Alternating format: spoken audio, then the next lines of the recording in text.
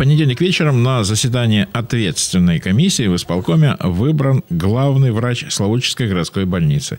Им стал Алексей Леонидович Ладожев. А в среду нам удалось с ним пообщаться. Первое интервью получилось коротким, но с перспективой на продолжение. И первый вопрос о ближайших планах нового главного врача Славутича. А в ближайшем будущем нам предстоит довольно большая работа по подписанию договора с Национальной службой здоровья Украины для того, чтобы вовремя получить финансирование на первичную медицинскую помощь.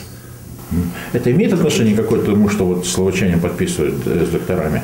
Конечно, это прямое э, отношение к этому имеет. Это как продолжение. Да, это продолжение всего того, что происходило последних несколько месяцев. То есть э, суть в чем заключается? Сначала пациенты заключают договор со своим доктором, будь то педиатр или терапевт или семейный доктор. И после этого предприятие, в котором эти доктора работают, должны, э, должно заключить договор с Национальной службой здоровья, чтобы по этому договору получить деньги на обслуживание населения. То есть, по большому счету, это и есть финансирование? Да, это новая модель финансирования. Новая которая вот сейчас распространяется только на первичную помощь.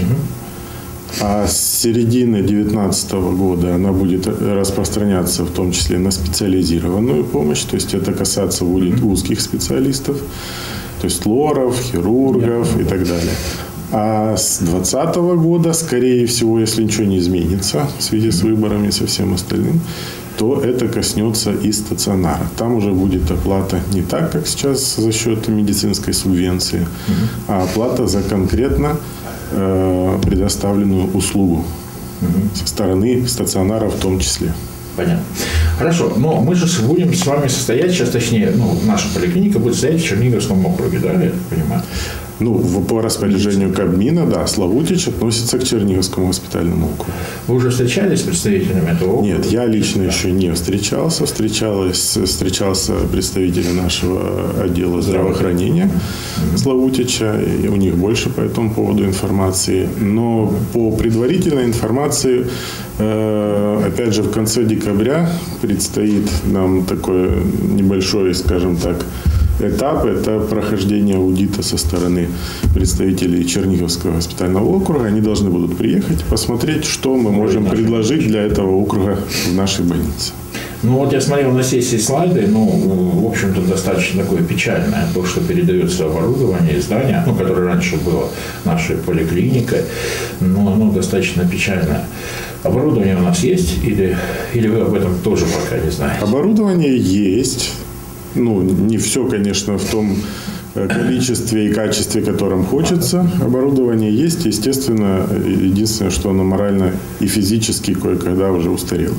Поэтому, естественно, нам предстоит и в этом плане большая работа, чтобы переоборудовать, закупить новое, поменять старое или отремонтировать, если это можно сделать. То есть помощь нам нужна со всех сторон.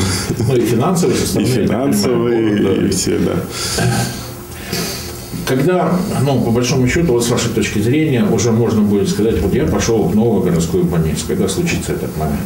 То есть пока, я так понимаю, вижу главного врача, скоро, наверное, вы уже объединитесь с, с людьми, которые уже перейдут из СМСЧ-5 в городскую больницу, и вот когда вот все это слияние произойдет, ориентировочно ну, сам факт юридического слияния, но это ближайшие дни произойдет. Это ближайшие дни. Ну да, сколько, я не могу сказать, это, к сожалению, не от меня зависит, но я думаю, что это дни, это не недели, не месяцы. А помещение, в каком вы будете находиться помещение? Э, помещение будет, естественно, они переходят к нам, то есть мы Э, происходит реорганизация путем объединения. Mm-hmm. То есть это будет одно предприятие. То есть они фактически останутся на своих рабочих да, местах? Да, конечно. Но будут уже как бы в стенах. Да, это будет одно предприятие с одним главврачом, с одним бухгалтером главным и, со, и все как бы под одной крышей.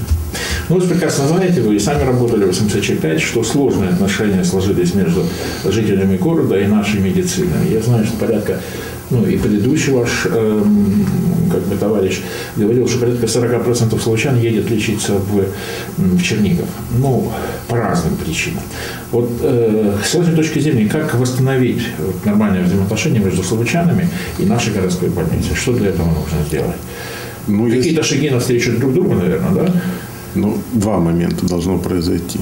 Первое, нужно я, на мой взгляд, нужно прекратить, прекратить те склоки и все остальное внутри коллектива, что происходит последних несколько месяцев, что на здоровье психологическое коллектива это, конечно, влияет очень сильно. И второе, естественно, это предоставлять населению качественные услуги. Вот, и все. И тогда доверие само по себе вернется. То есть вы готовы предоставлять услуги? Ну, в мере своих возможностей, конечно. Ну, хочется вам пожелать удачи. Не будем вас терроризировать сегодня, потому что вы буквально еще считанные часы только э, главный специалист нашей новой больницы. Хочется пожелать вам удачи. Кстати, а вот большое наследство вам досталось от предыдущего главного врача? Наследство большое. Качество наследства чуть-чуть хотелось бы получше. Получше. Ну, будем надеяться, что где-то через полгода мы с вами опять встретимся. И вообще, если есть какие-то проблемы, приходите к нам, и мы тут же будем разговаривать с вами, общаться и рассказывать и случайным, и тому же руководству города о том, что есть проблемы, и их надо решать. Договорились? Конечно, конечно. Ну, мы, во-первых, благодарны вам, что вы уже в первые часы, скажем, своего пребывания в должности пришли на телевидение, и мы с вами общались, потому что предыдущий товарищ оттягивал, э, предыдущий главный врач нашей поликлиники оттягивал эту встречу сначала на неделю, потом на месяц, потом на полгода.